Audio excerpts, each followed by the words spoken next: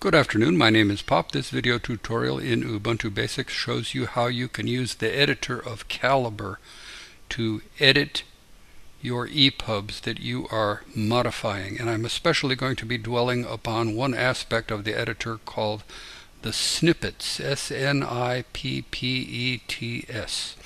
Just to review briefly, I have got a book right here in Calibre that has been converted into an EPUB and you'll see over here that I had put it in as an ODT file. I added it up here. And then after I added it I hit convert. And it took a minute. And then it converted it into an EPUB so now I have an EPUB and if I want to read that file as an EPUB I just tap on this and I'll end up getting this. This is the EPUB reader of Calibre. It's showing here the table of contents, which I can turn off or turn back on. I can look at it half screen, of course. At half screen, it's better to look at it this way. And I can go from chapter to chapter by just hitting the next thing. Now, what I want to do is show you how the snippets editor works. Do you see up here where this is in blue? I did that at least temporarily to help me. You can change the color of things to show what you've already fixed. You can change it back later if you want to. But this is in blue and I fixed it. And this, I haven't got there yet. It's still in black. And I have still yet to fix it well, what needs to be fixed? It's a matter of opinion and so forth. So let me show you. I'm going to open up the editor, and the way you do that is to right-click this and go down here, and it takes a minute. When, when you do that, the editor opens. I've already got it open, and here we are. And this is the editor, and there are three panels in the main. Over here, this is more or less an EPUB reader. In the center, this is more or less an EPUB reader, but it shows the instructions. In other words, it'll say turn this blue, indent this, and so on, what kind of font, how big, what color, and so on. Over here on the left, you're going to find the individual individual chapters. Actually, they're not chapters, they're just hunks. There are more of these than there are chapters. Calibre automatically breaks down the book into manageable hunks. The manageability of it has to do with whatever reader you are using.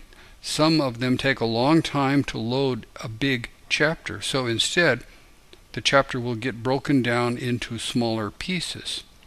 Let me, and, and I'm in the text portion of it right here. And I'm going to go down until we find where we are. It'll be outlined in highlight somewhere. There it is.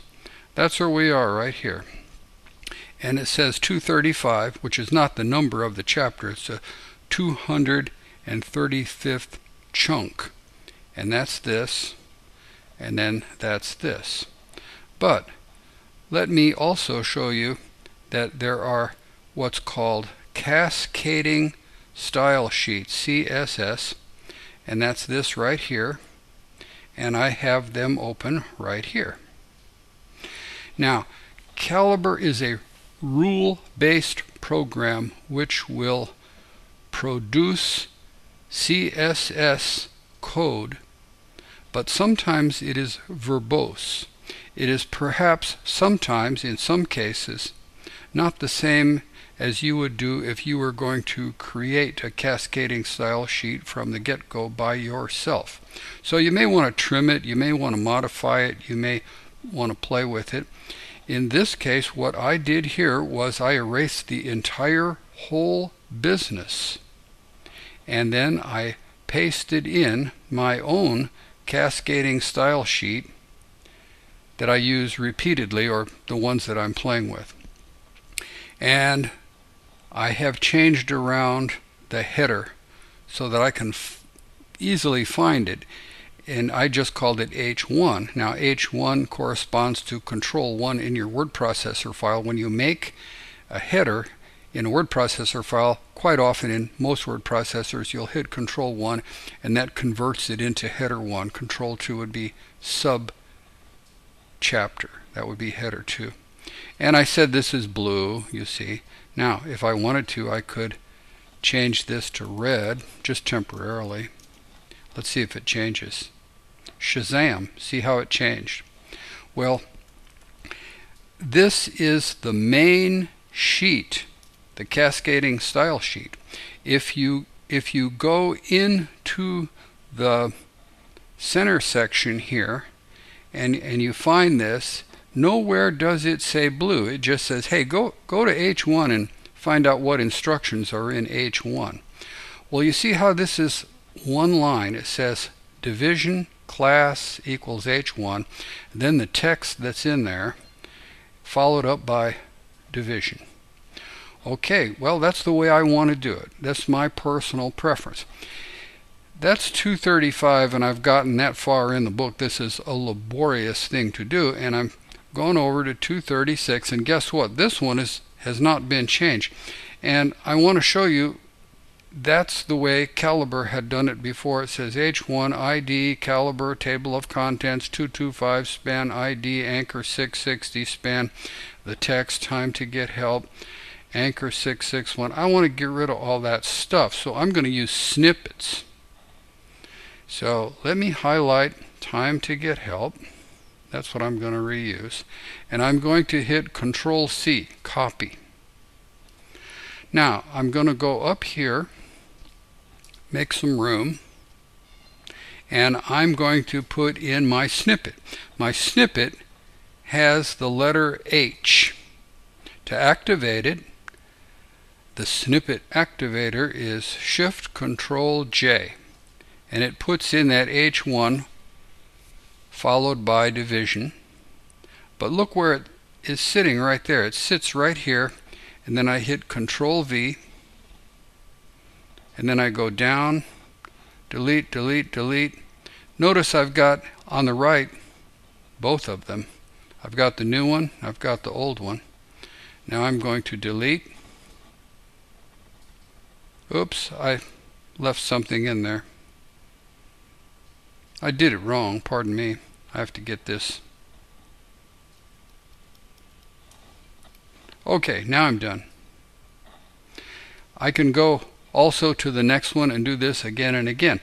Perhaps I should do exactly one more to uh, because there was an error in that one and I will show you uh, again how to do it quickly and then I'm going to go to the snippets editor and show you how to use the snippet. Okay, this one's in black, but I want it in blue. So I go to H1, and then I get my text, control, control, control, let's see, copy.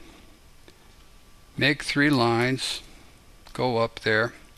H, Shift Control J, Control V, down, delete, delete, delete, boom. And I'm done.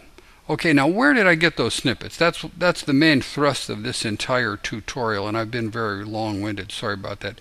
They're located up here in Help, in Preferences, Editor Settings, Manage Snippets. And I've created a bunch of them, and some of them are useful and some of them are nonsense. And uh, I was always goofing with them in order to figure out how to use them, and you can delete them and create new ones rather quickly. So here's the H. And this is the trigger, uh, the letter H followed by when you use it, Shift Control J. And instead of putting in a name, I, I just put in the whole nine yards right up here. And now here's what I want to point out. You've got the arrow, division class equal H1 arrow.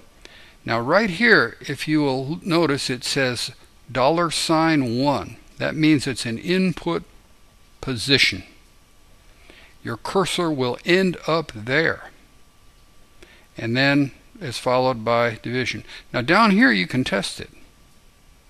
So I am going to uh, test it by putting in some uh, A, B, C, D, E, F, G. I'm just going to copy this to demonstrate. Control C, copy. Uh, let me delete that too. Now I'm going to put in H, Shift Control J, Control V, paste, A, B, C, D, F, G, and you see how it works. That's the whole snippet thing. When you save it, you now have that snippet. And you can use a whole bunch of different ones. You can make them up uh, if you want to just add regular stuff. Uh, uh, if you want to put in something you're using over and over again, this one BR border radius, uh, I put in BR and then to activate it you go Shift Control J. Let's let's just do it. Border radius. Shift Control J. Oops. And that's it. That's all you got to do. See, it, it saves you some time, and that's really all it does. My name is Pop, and I have a whole bunch of videos in Ubuntu called Ubuntu Basics, and right now I'm working on EPUBs, and I thank you very much.